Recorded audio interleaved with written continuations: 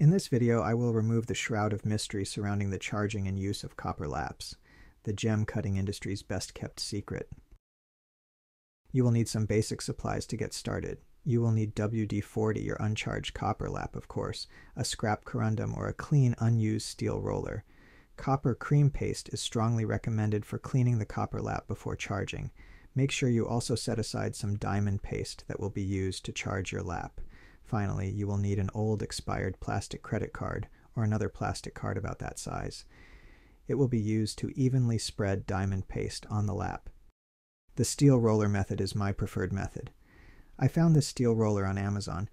It's normally used for leather making purposes, but I've used it to push diamond into copper with great success. I think it's slightly more effective at doing this than a piece of corundum. However, I believe that you will need to have a dedicated roller for every size grit used to avoid cross-contamination, and that can get expensive quickly. So, we move on to the cheaper corundum method. This requires a scrap piece of synthetic ruby or sapphire if you don't have a steel roller available. You will need to grind down the tip of your sacrificial ruby on a steel lap to at least 600 grit first. Copper is very soft in comparison, and the tip has to be smooth to avoid scratching your virgin copper lap. You can also dop a piece of ruby, attach it to the quill, and sweep it across the lap as if you're cutting a stone.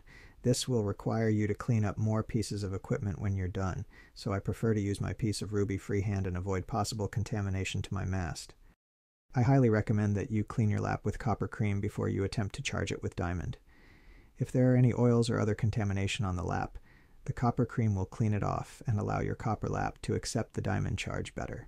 Another benefit to cleaning your lap before charging is to allow the natural beauty of the copper to shine through. We're all about the beauty and aesthetics of shiny things anyway, aren't we? Now that your lap is fresh and clean, dry it off with a clean paper towel.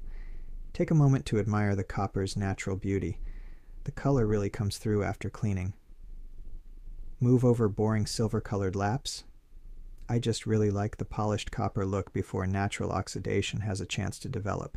If only there was a way to preserve it without applying varnish to the surface, but I digress. It's time to get started charging your lap. Take your WD-40. Put a few drops of it on your lap. It will lubricate your finger to help diamond paste spread evenly. It will also prevent diamond paste from sticking to your finger so it's easier to wash off later. Now take your diamond paste and put little dots of it all over your lap. Try to space it out as evenly as you can, though this isn't crucial. Use your finger to rub the diamond paste into the lap, spreading it as evenly as you can. Make sure the edge gets enough diamond paste too. Those girdles aren't going to polish themselves. Finally, ignore the sunburn on my hand. I forgot to wear sunscreen when I was out fishing. Don't make that same mistake. If you mess up and apply too much paste by the center hole, use a clean paper towel to wipe off the excess so you don't contaminate your nut. That part of the lap does not need to be charged with diamond. You're never going to use it anyway. It's time to put your lap onto the spindle of your machine. Put it on and lock down the nut. Find your old plastic credit card or suitable replacement. You're going to use it to evenly spread the diamond paste on your lap while it's rotating. Turn the motor on at the lowest rotation available. Place the card on your lap and slowly move it from the nut out toward the edge of the lap. You're going to want to do that several times. If you feel the lap tugging on your card, you'll want to add a drop or two of WD-40 to the lap and try again. You want the lap to be lubricated enough that the card moves freely across the lap, but not so much that it washes the diamond paste off. Grab your sacrificial ruby. Turn the motor back on and place the smooth, flat edge of the ruby onto your lap. Slowly move the ruby back and forth, starting from the nut and going to the outer edge of the lap. If at any point you feel that your ruby is not gliding smoothly across the lap, add a couple of drops of WD-40 and start again. For best results, you will want to do this process for several minutes. Make sure that you don't neglect any usable space on the lap, getting the outer edge of the lap for those girdles in your near future. Still, my preferred method is the steel roller method. I think it pushes diamonds into the copper better than dragging a ruby or sapphire across the lap. Using the steel roller method is similar to using the ruby method. All you have to do is gently place the roller onto your lap and move it slowly across from the nut to the edge. Do it carefully to avoid scoring your delicate copper lap.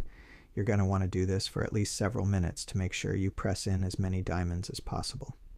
Do not, under any circumstances, use a plain ball bearing like those used in skateboards to press diamonds into your lap. Those are notorious for scoring and gouging copper laps. Ask me how I know. It's time to clean up. You need to wash off all the loose diamonds that haven't been pressed into your lap. Those will cause unwanted scratches if we leave them where they are. Put a healthy amount of soap, such as Dawn, onto your lap. You want to use your fingers to rub the soap in first. Black swarf should develop on the surface of the copper. Don't worry, it's just the result of loose diamonds giving your copper lap a nice polish. Rinse off your lap and apply a healthy amount of soap again. This time, use a sponge with a scrubby Brillo pad attached to it to scrub your lap. I use a sponge like this one to wash laps I just charged. Vigorously scrub your lap until it looks clean and is no longer producing any black swarf. Lastly, you want to use plenty of soap and water to clean the nut, the splash pan, and any other plastic part in the vicinity of you charging your copper lap. Clean everything meticulously, then clean it again. Use a damp paper towel to wipe down other surfaces of your machine that may have been within splashing distance of your spinning copper lap during charging. You don't want to risk any contamination spreading. An ounce of prevention is worth 10 pounds of cure in this case. The surface of your clean charged lap should look slightly different from a virgin copper lap. You should see a slight sheen start to develop. This is the result of tiny diamonds that we've embedded into the copper. If you use a microscope to look at your lap, you will see tiny diamonds sticking out of the surface. It's time to reap the fruits of your labor. If you have a stone ready for pre-polish already attached to your quill, use it to test how good of a job you did charging your lap. You should see a good pre-polish being applied to your test stone. If you don't, you might have skipped a step, so go back to the beginning and watch this video again. Copper laps can take on a lot of diamond. You should expect to recharge your lap four to five times before it's fully ready for use. When polishing larger stones, you may need to recharge your lap in the middle of polishing. This is the only downside to using a copper lap for the first time.